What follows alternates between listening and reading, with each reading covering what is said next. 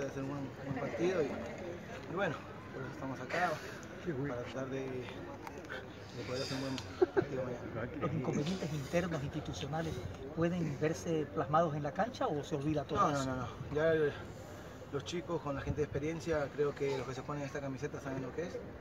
Y aparte hay una palabra nuestra, los que somos hinchas de verdad, que la U es más grande que sus problemas y nosotros cada vez que, que enfrentemos tenemos que defender esta camiseta a muerte y, y los más chicos lo saben, nosotros los más grandes les transmitimos eso. Acá ellos una vez que ya van a jugar un partido internacional y profesionalmente, ya nadie es chico, así que van a tener que ponerse el equipo al hombro y, y tratar de hacer las cosas bien. Por ¿Qué? ahora mixturado para este compromiso. Jóvenes y gente con experiencia.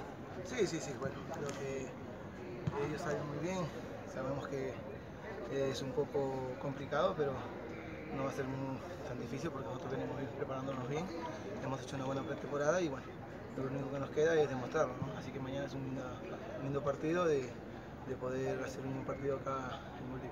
¿Qué concepto de rival de turno? ¿Ya lo han visto? Porque no sabemos que es un, un buen rival, tiene buenos jugadores, nosotros respetamos y sabemos que va a ser un duro partido.